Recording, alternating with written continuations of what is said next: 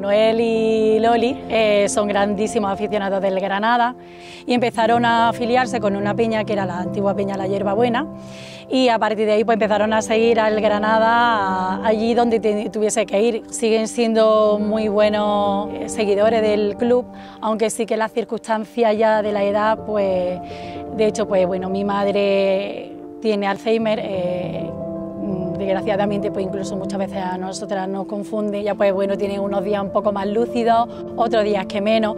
El día que está más, más de humor un poquito más baja, yo como la consigo motivar un poco y activar de manera neurológica es poniéndole el himno del Granada, es curioso, se deja la garganta y lo canta siempre con mucha alegría y hace que su ánimo se suba. Y yo creo que es por eso, porque recuerda los buenos momentos que ha vivido en este estadio junto con muchos amigos y muchas amigas de la, de la Peña, pues bueno, eh, tienen recuerdos muy bonitos. ¿Desde cuándo llevas viniendo al fútbol, mamá? Pues desde que se abrió el campo. Ella fue presidenta, de, la primera mujer presidenta de la Peña Cármenes. ¿Mi sitio? ¿Allí? ¿Qué número es tu sitio? 50 y 51, el abuelo, díselo tú. Mami, mira, date la vuelta.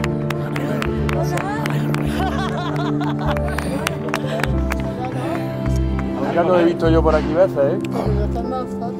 Hombre, claro. Esta es para Manolo. Esta que pone Loli. Esa es, ¿no? Mi abuelo desde, desde pequeña, mi familia ya, ya todos los nietos nos han intentado inculcar el valor del Granada y es un sentimiento muy bonito. Se siente muy feliz, hay veces que vienen a verme a los partidos y ellos se sienten muy orgullosos de que eh, sus nietos, su nieta sobre todo, esté defendiendo el escudo de, su tierra y de, de su sangre. Si era carnavales venían al estadio disfrazados, si era reyes venían vestidos de reyes y, la verdad que han vivido momentos muy, muy, muy bonitos.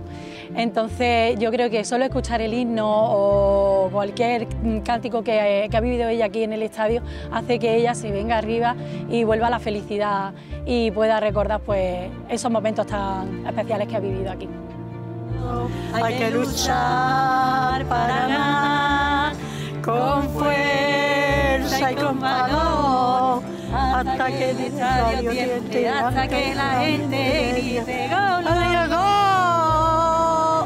Granada, Granada, Granada.